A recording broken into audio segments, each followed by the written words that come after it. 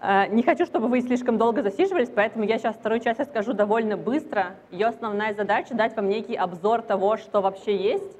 А к тому же я знаю, что завтра Андрей Афанасьев будет рассказывать побольше про биоинформатические компании, которые сейчас на мировом рынке важны и какие есть в России. Поэтому про это я тоже не буду глубоко, сильно углубляться, а дам вам некое общее представление. Эту картинку мы уже видели, да, и мы видели, что довольно много людей рано или поздно из академии уходит и занимается чем-то другим, из академических, по крайней мере, исследований.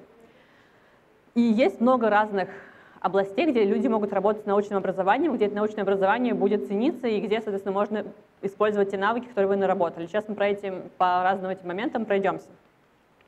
Во-первых, есть некие неисследовательские позиции в академии. Например, то, что делаю сейчас я, да, это работа в администрации либо университета, либо какой-то исследовательской, исследовательской программы, да, или аспирантской программы, учебной программы.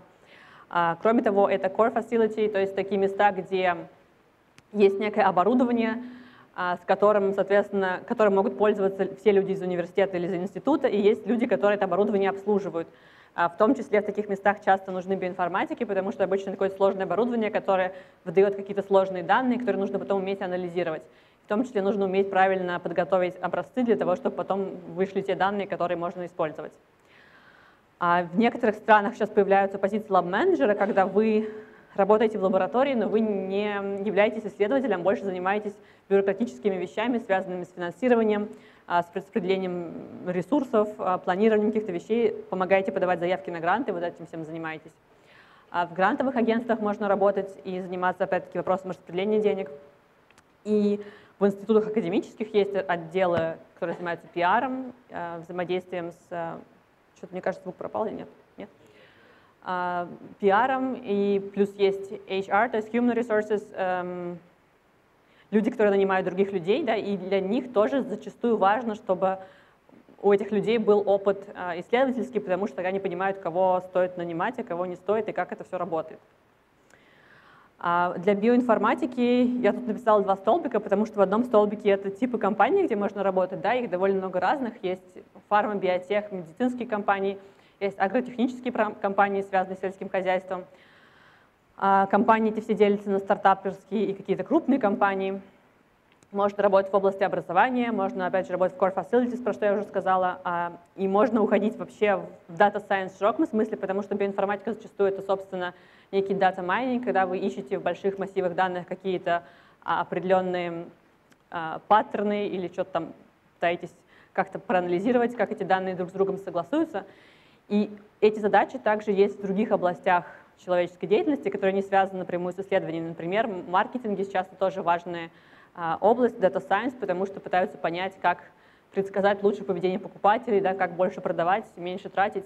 И я знаю людей, которые из биоинформатики, например, ушли в Data Science. А во втором столбике это разные типа занятий, которыми вы можете заниматься, да, занимаясь биоинформатикой. Анализ генетических тестов, клинических исследований, данных клинических исследований, то есть, с одной стороны, планирование клинических исследований и расчет каких-то статистических данных. Кроме того, клинические исследования могут давать много разных больших датасетов, где нужно тоже какие-то вещи, какой-то data mining делать. А, это drug design в широком смысле, где заниматься нужно моделированием химических молекул, их взаимодействием друг с другом. А, анализ омиксных данных, которых сейчас полно всяких, да, и протеомика, и метаболомика, и еще какие-нибудь разные омики.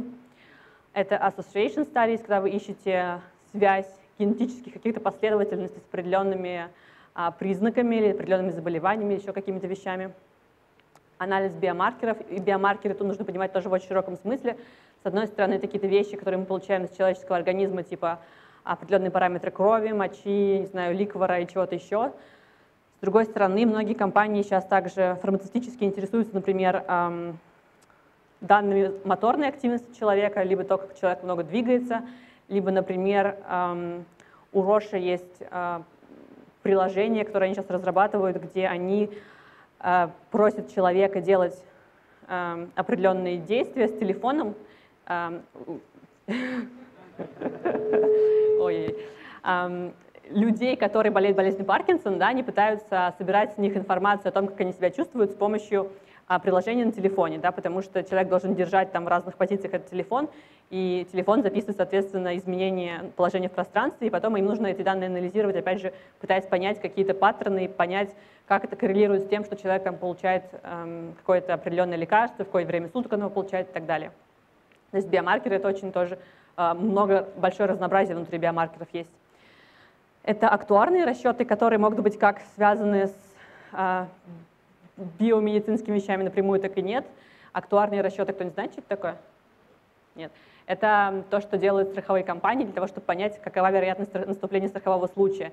Они анализируют большие, опять же, датасеты, пытаются понять, какова вероятность, что там человек, который живет определенным, э, имеет определенный образ жизни, попадет в какую-то определенную ситуацию придется ему выплачивать деньги. Да? И они пытаются с помощью этого рассчитать, соответственно, сколько им нужно брать с человека денег, чтобы потом они оказались все-таки в выигрыше, а не в проигрыше. И сейчас эти актуарные расчеты также начинают использоваться фармкомпаниями, потому что они пытаются понять, а, как, например, некие лекарства могут иметь дополнительные свойства, не те, которые, с целью которых человек это принимал, это лекарство, а какие-то дополнительные вещи. Например, там, не знаю, аспирин разжижает кровь да, и снижает вероятность тромбозов. И вообще поиск любых паттернов Data — это, собственно, то, что можно делать с неким биоинформатическим бэкграундом. Кроме того, вы можете заниматься созданием сервисов, интерфейсов, а, сайтов, программ да, для людей, которые работают с биоинформатическими задачами. А, для, с одной стороны, может быть, для биоинформатиков, других, с другой стороны, может быть, для людей, которые работают в wet lab и особо не разбираются, как биоинформатика работает, но им нужно какие-то анализ какой-то делать, соответственно, хорошо бы для них разработать интерфейс, который будет для них легкий и понятный. Этот слайд я утащила у Юры Пекова из Бластимы, и у них на сайте есть хорошая ссылка, где можно почитать, какие есть компании в России, в которых можно работать биоинформатиком. И это часть из э, логотипов этих компаний. Но так как про это будет завтра Андрей Афанасьев рассказывать, то, в общем, я не буду далеко углубляться. Давайте посмотрим, какие еще есть а, позиции чем еще можно заниматься, если у вас, естественно, научное образование и вы, может быть, биоинформатик. Можно работать в фармацевтических и биотехнологических компаниях, и тут позиций очень много, и тоже, мне кажется, важно это помнить. На всех этих позициях важно, если вы, что вы были ученым до этого, исследователем, и что вы понимаете, как это все работает. С одной стороны, это R&D, который наиболее близко к исследовательской работе, это Research and Development, вы занимаетесь разработкой каких-то новых эм, продуктов этих компаний. Другой, кроме того, это продажи, маркетинг и пиар, где вы должны продвигать эти продукты на рынок, придумывать, как их продать покупателям, как найти покупателей. Product manager — это типа человека, который менеджерит проект, который отслеживает создание продукта на разных этапах, администрации, работа с людьми. Опять же, чтобы работать успешно с людьми, которые, например, занимаются R&D, хорошо бы, чтобы вы понимали, чем эти люди занимаются. А, есть этапы производства, где нужно тоже отслеживать, чтобы оно работало правильно и правильно его планировать. И нужно, опять же, знать, иметь, естественно, научный бэкграунд. А, project management бывает в разных вариантах. Может быть, вы менеджерите, например, клинические испытания для ваших препаратов. Uh, regulatory affairs — это про то, как извините, правильно оформлять документы для того, чтобы продукция могла выйти на рынок, например, там для, США, да, вам нужно взаимодействовать с FDA для того, чтобы ваши продукты были одобрены для продаж. И это все, этим всем занимаются люди, работающие в regulatory affairs. Они должны понимать, опять же, научную составляющую э, продукции. А бизнес-девелопмент — это то, как развиваться будет компания, какие сейчас актуальные проблемы, которые нужно решать, где нужно продукты создавать новые, и какие есть исследования новые, собственно, которые можно использовать для того, чтобы создавать новые продукты. Ну и рекрутинг, и HR тоже а, требуют, естественно, научного бэкграунда для того, чтобы нанять хороших людей в R&D, вам, вам нужно понимать, как вообще понять, что человек хорошо с этим справится. А, кроме того, имейте в виду, что можно делать магистрские проекты, PhD-проекты и постдоки во многих фармацевтических компаниях и биотехнологических компаниях. Поэтому, если вы, например, не уверены, что вам хорошо будет э, заходить э, работа в индустрии или в академии, можно попробовать такой вот серединный наполовину вариант, где вы делаете все-таки работу по своему характеру э, академическую, но при этом работаете внутри фармацевтической компании, поэтому узнаете больше про нее.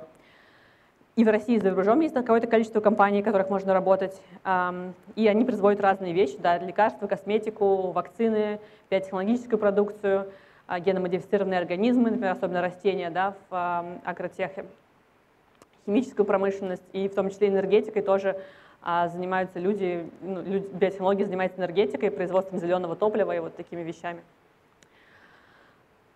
Есть медицинские организации, где тоже можно работать с научным бэкграундом, заниматься анализом, различными биохимическими или генетическими анализами, экстракорпоральное оплодотворение, но это то, где нужен опыт, конечно, работы в wet lab. В частных клиниках могут быть, опять же, какие-то генетические анализы, например, и клинические исследования — это большая область, где есть разные задачи, которыми должны заниматься ученые. С одной стороны, планирование клинических исследований, вот это вот научная часть, с другой стороны, менеджмент, взаимодействие с докторами и отслеживание того, что клинические исследования идут так, как нужно. И во всех этих компаниях, которые занимаются этими вещами, есть разные позиции, как на предыдущем слайде. А, и менеджеры, и рекрутеры зачастую а, должны иметь, естественно, научное образование, чтобы помогать организации работать эффективно. Если вам хочется заниматься предпринимательством, стартапами, опять же, есть много возможностей для создания своей какой-то компании в области биотеха или фармакологии. Э, и часто такие идеи появляются как спин какие-то исследования, то есть вы что-то обнаружили в лаборатории интересное, в своем каком-то проекте что-то интересное обнаружили, вы потом создаете на основе этого стартап. Или это могут быть студенческие идеи, и в некоторых а, университетах сейчас есть акселераторы, где вы можете прийти со своей идеей на конкурс, и если а, комиссия оценит, что ваша идея достойна того, чтобы ее реализовывать, вам дадут некий стартовый капитал, начнете ее пытаться реализовывать, разрабатывать дальше. А, кроме того, востребованы специалисты с естественно научным бэкграундом в консалтинге и эм, местах, где нужно аналитическое какую-то аналитику делать. С одной стороны, эти люди нужны внутри фармы и биотеха, а с другой стороны, а, есть венчурные фонды или медицинские организации, которые также занимаются консалтингом. А, то есть есть, например, компании, которые занимаются консалтингом для медицинских организаций. Консалтинг означает, что вы помогаете компании реализовывать какие-то ее задачи, например, там, больше зарабатывать, а, экономить, выводить на рынок новый продукт и Хотя люди, которые занимаются консалтингом, не делают, не создают ничего сами, они, собственно, анализируют рынок, анализируют какие-то показатели и пытаются дать хорошие советы. А венчур, в случае венчурного капитала это означает, что вы а, консультируете по поводу того, какие давать нужно, кому давать нужно деньги на развитие проекта, кому не нужно, какие компании молодые стоит вкладываться, в какие нет. Менеджмент консалтинг — это еще более широкая область, где консультируют эм, любые компании, неважно какого они направления, а, но, как ни странно, в менеджмент-консалтинге тоже очень любят принимать людей с естественным научным образованием, потому что у них хорошее аналитическое мышление, они умеют работать, опять же, с большими данными, минимум умеют считать, и поэтому э, эти люди там тоже востребованы. Можно работать в области а, коммуникации, науки Science Communication, научпопа, а, где есть тоже куча разных вариантов. Можно самому писать, переводить какие-то тексты, быть редактором, можно читать лекции, создавать какие-то онлайн-проекты, типа YouTube-каналов, да, на котором тоже, в принципе, можно зарабатывать. Можно заниматься организацией разных мероприятий, э, тех же самых лекций. И тут тоже полезно, чтобы у вас была научная экспертиза, чтобы вы могли оценить, что вы такое создаете, осмысленно ли это и является ли это научным.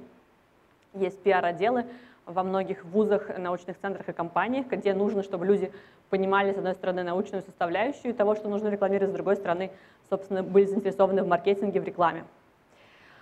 А medical Science Liaison — это человек, который а, помогает взаимодействию фармацевтических или биотехкомпаний с, а, ну, фармацевтических на самом деле, компаний с докторами и помогает продавать продукты да, или доносить информацию о новых каких-то лекарствах до докторов.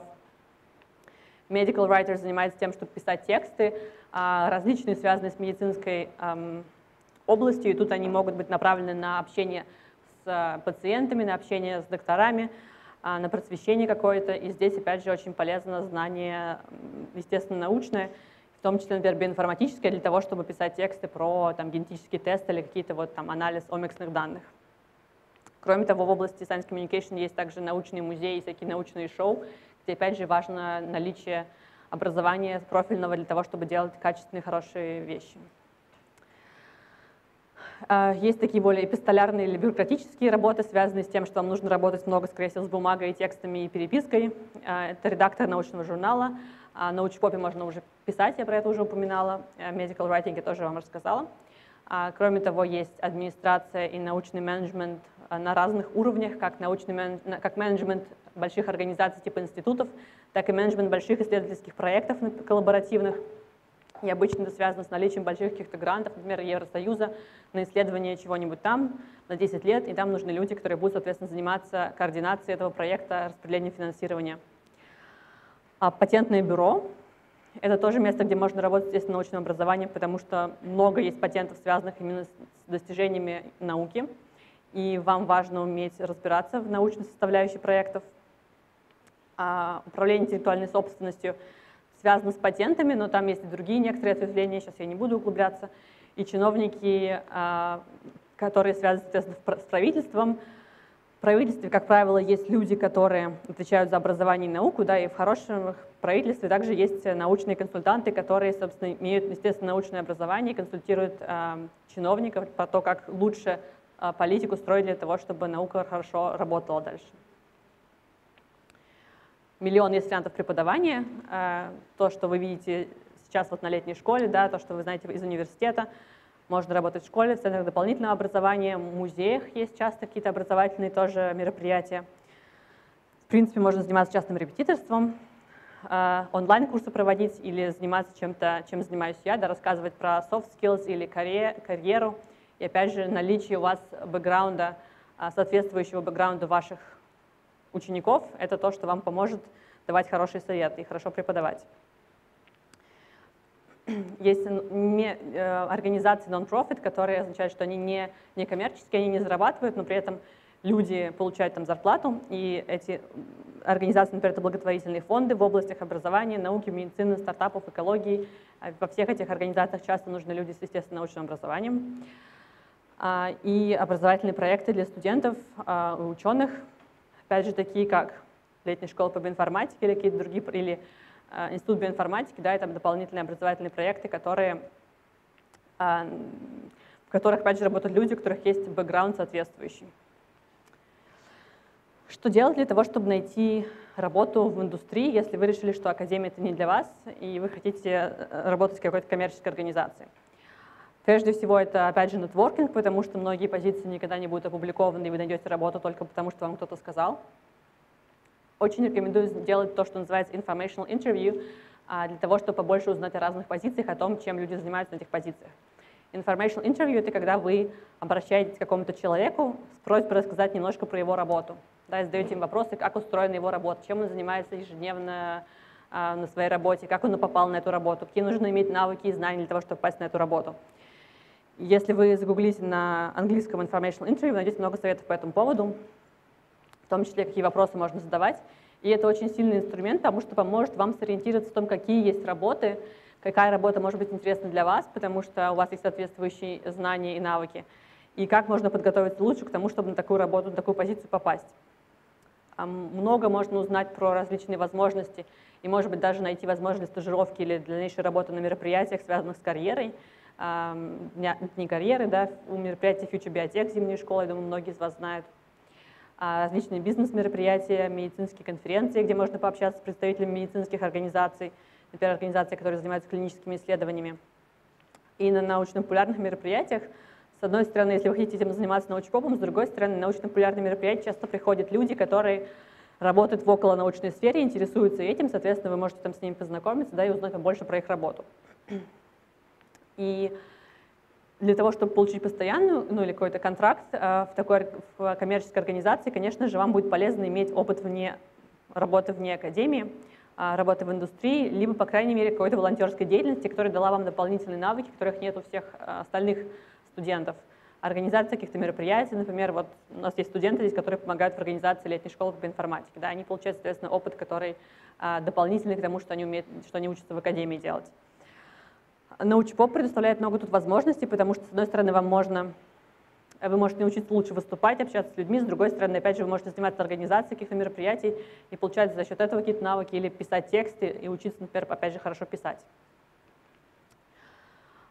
Поможет вам international experience, если вы хотите особенно работать в международной компании, и, соответственно, вам нужно знание хорошего английского языка, наличие soft skills, которые вы также можете приобрести через какие-то дополнительные а, активности ваши участие в бизнес-инкубаторах или стартапах будет плюсом, и вы можете часто сделать это довольно безболезненно, когда вы еще студент. А участие в каких-то программах для предпринимателей а, получения стипендий фондов, таких, например, как Потанин или Фонд российской экономики. С одной стороны, эти стипендии дают вам некие бонусы к вашему CV, с другой стороны, они также предоставляют вам контакты с людьми из бизнес-сферы, где вы можете побольше узнать о том, как бизнес работает и что там востребовано, и чему, что вы можете бизнесу предоставить. И различные вещи, которые украшают ваши CV, такие как награды и вовлечение вне науки и учебы, они тоже важны для того, чтобы найти потом хорошую позицию в индустрии или в коммерческой организации, потому что показывают, что вы не, не жесткий бот, на который только в общем, наукой занимался, а сейчас пытается найти работу, потому что у него не получилось что-то в академии, а что вы человек разносторонний, и у вас есть действительно какой-то интерес к тому, чтобы заниматься чем-то другим. Про модные хобби я тут написала, имея в виду, что в некоторых индустриях а, есть некие хобби, которые считаются модными. И, наверное, это больше относится к тем а, работам, которые не связаны напрямую с наукой. Например, в менеджмент консалтинг, как называется менеджмент консалтинг по-русски, я не знаю, честно говоря, но в этой области очень ценится наличие каких-нибудь э, конкурентных или очень тяжелых физических хобби, например, там, бегание марафонов. И волонтерская деятельность тоже показывает, что у вас есть, э, с одной стороны, некая социальная ответственность, вы заинтересованы в том, чтобы делать что-то полезное для общества или других людей.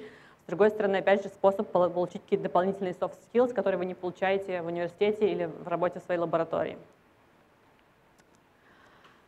Ну и наличие любых особых навыков, которые э, выделяют вас среди других студентов и которые полезны для работы, которая вам интересна, они, конечно, тоже будут большим плюсом.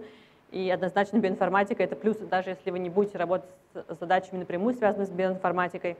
Умение писать тексты, умение выступать, знание больше, чем одного иностранного языка, какое-то дополнительное образование релевантное и практические навыки работы в лаборатории — все это, скорее всего, будет плюсом для того, чтобы найти работу, которая вам интересна. Ну и, и немаловажно, что то, что я написала в конце, что уметь все это правильно продать, это тоже важный момент. Вам нужно уметь правильно представить, почему ваш опыт и ваши знания релевантны для той работы, куда вы хотите подавать. И почему вы так супер мотивированы на этой работе работать, чтобы вас стоит взять, потому что вы будете там супер успешными справляться, хорошо будете. На этом моя презентация закончилась. Я почти, ну, в смысле, я все еще укладываюсь во время. А, поэтому хочу вам дать сейчас свои контакты, после чего я рада ответить на вопросы. Uh, у меня есть сайт, на котором uh, я стараюсь обновлять информацию о том, что сейчас я делаю, пишу там про свои курсы и какие-то дополнительные вещи типа вебинаров, которые я провожу периодически. У меня есть паблики ВКонтакте и Фейсбуке, они являются зеркальными, в принципе, там информация одна и та же. Там я тоже пишу всегда о новых мероприятиях, таких как курс молодого ученого, который будет повторяться этой осенью, я думаю, что в октябре. Uh, у меня есть телеграм-канал, который немножко отличается от пабликов по содержанию, там я пишу чаще короткие заметки, иногда показываю примеры всяких странных документов, которые я читаю по своей работе, например, эм, заявки на... Некоторые я вам покажу завтра на лекции про CV. Кроме того, я провожу личные консультации по вопросам научной карьеры, планирования, стратегии вашей научной карьеры э, и подготовки документов к конкретным заявкам, написания CV, мотивационных писем, рекомендательных писем. А, поэтому, если что-то из этого вам интересно, пишите спрашивайте. Мне можно писать вопросы в личку, э, ВКонтакте, в Инстаграме, в Инстаграме тоже можно, а, в Фейсбуке, в Телеграме. Я стараюсь по возможности отвечать на вопросы или иногда пишу какие-то более развернутые посты, если вопросы достаточно большие.